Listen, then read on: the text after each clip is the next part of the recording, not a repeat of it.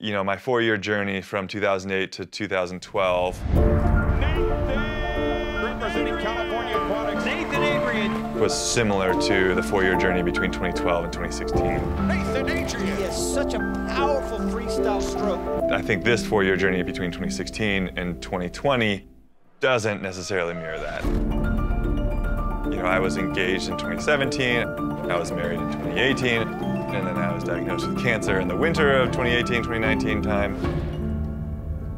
That's a really harsh reality to swallow. I was 30 years old. I wasn't really thinking about that. You could never test us. Oh yeah, cause we're the best. We go. And they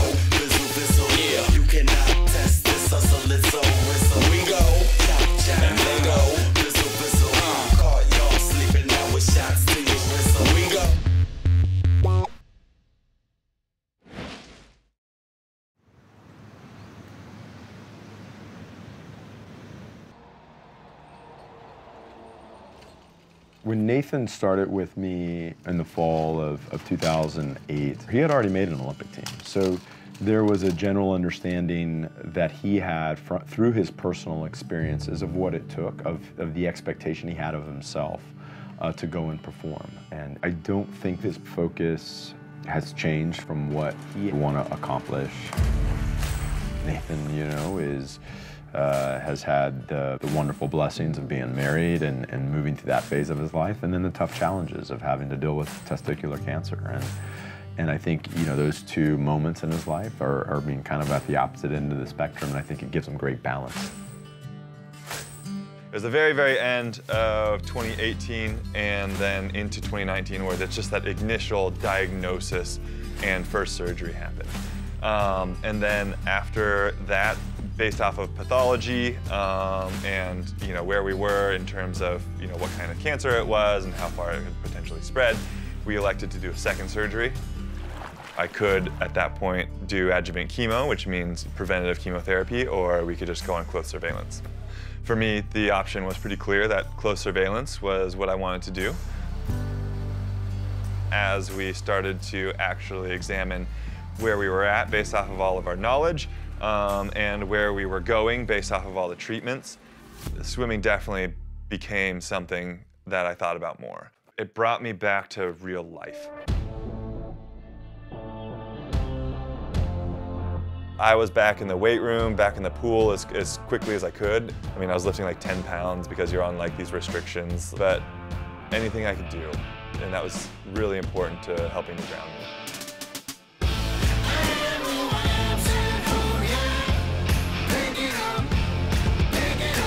I love swimming and I love competing. And I was like, this is it. Like, this is home.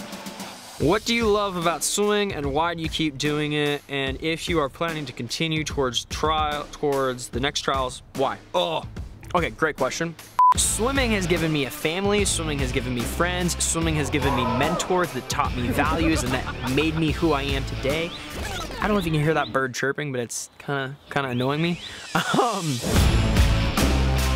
Another big reason why I'm still swimming is because I love my teammates. I love going to the pool every day. I love goofing off with Lily. I love blowing bubble rings.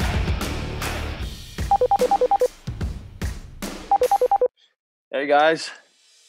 So when I first hopped in the water, there was just something about the water where it calms me. It's like my home. Like I could be having my worst day of my life and I step foot in that water and I'm happy.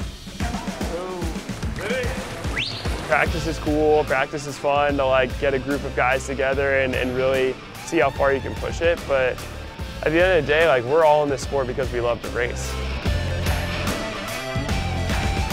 When you go to swim meets, when you get on those blocks, you're racing seven other people and it's like mano a mano, it's like who wants it more? And I love that excitement. And that's why I love swimming. There's there's so many different reasons. Like I wish I could distill it down to one thing just to package it nicely. But one of them is definitely because I love representing Team USA and then see how far we can take swimming. It is crazy how fast all events have gotten, which is just what makes the sport so fun to be a part of and, and in my opinion, fun to watch. What's your most memorable Olympic moment as a viewer? As a viewer? Yeah. Oh, that's a good one. Um, 100% hands down 2008 the 4x1 freestyle relay basically we were like yeah we're getting a silver medal and at about 50 meters we were piling on each other we're like yeah usa and at the end we just like kind of looked at each other shocked still today when i think about that event i get chills i got to go with a different one um, Maya DiRado 200 back in 2016 every single tweet was like all caps, like, Maya DiRado did it, did it, did it. That's when we knew that the USA was firing on all cylinders at that meet. Summer of 2008, the men's 100 meter butterfly, Michael Phelps outtouched Cavic by one one hundredth of a second by a fingernail. I have never felt more American and more patriotic in my life. That bird. I don't even know what kind of bird it is.